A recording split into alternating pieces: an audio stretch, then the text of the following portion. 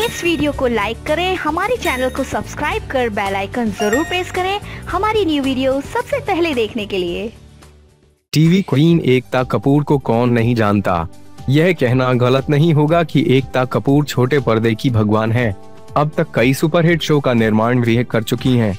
उन्होंने एक से बढ़कर एक सुपरहिट सीरियल दर्शकों को दिए हैं। उनमें से क्यों की सास भी कभी बहुत थी। कहानी घर घर की, कसौटी ज़िंदगी की आदि प्रमुख हैं।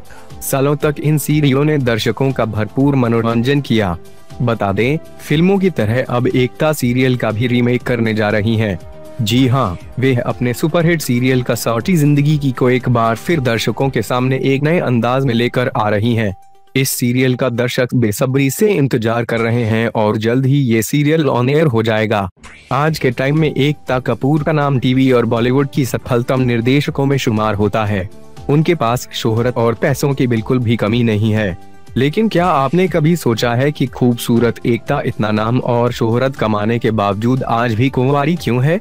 क्यों उन्होंने अब तक किसी से भी शादी नहीं की? वैसे तो उनके हुकअप्स के कई किस्से सामने आए, लेकिन किसी से भी उनके रिश्ते की पुष्टि नहीं हो पाई।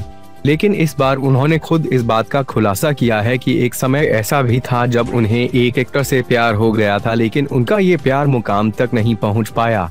इस एक्टर से प्यार करती थी एकता बता दें, एकता कपूर जिस एक्टर से बेइंतहा प्यार करती थी, वे कोई और नहीं बल्कि बॉलीवुड के किंग खान, शाहरुख खान हैं। हाल ही में एकता कपूर का एक वीडियो जारी हुआ था जिसमें वे शाहरुख खान के साथ थीं। जानकारी के लिए बता दें, इस बार का सौटी ज़िंदगी के सीरियल के रीमेक में शाहरुख खान सूत्रधार बनकर नरेशन देने वाले हैं वह तीन एपिसोड्स तक किरदारों का परिचय दर्शकों से करवाएँगे शाहरुख खान और एकता कपूर ने हाल ही में एक इंटरव्यू दिया था। इंटरव्यू के दौरान शाहरुख ने एकता से जब उनसे पहले प्यार के बारे में पूछा तो वह शर्माने लगी। बाद में उन्होंने बताया कि उनका पहला प्यार कोई और नहीं बल्कि शाहरुख खान है। उन्होंने शाहरुख को कहा कि I love you sir dot.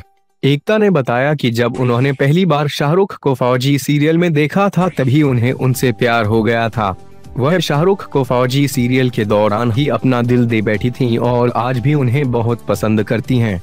तीस साल बाद होगी सीरियल में वापसी बता दें, शाहरुख खान की वापसी किसी सीरियल में करीब तीस साल बाद होने जा रही है हालाँकि वह कौन बनेगा करोड़ती और क्या आप पांचवी पास से तेज है में नज़र आ चुके हैं लेकिन ये रियलिटी शो थे न कि सीरियल सीरियल में अपने इस कम के लिए शाहरुख बहुत एक्साइटेड हैं। शाहरुख ने अपने करियर की शुरुआत छोटे पर्दे से ही की थी। वह सर्कस और फौजी जैसे हिट सीरियल में काम कर चुके हैं। इसमें दर्शकों को उनका रोल बहुत पसंद आया था। उनकी बॉलीवुड में पहली डेब्यू फ़िल्म साल उन्नीस सौ बानवे में दिल आशना है आई थी। इस फ़िल्म की प्रोड्यूसर हेमा मालिनी थी।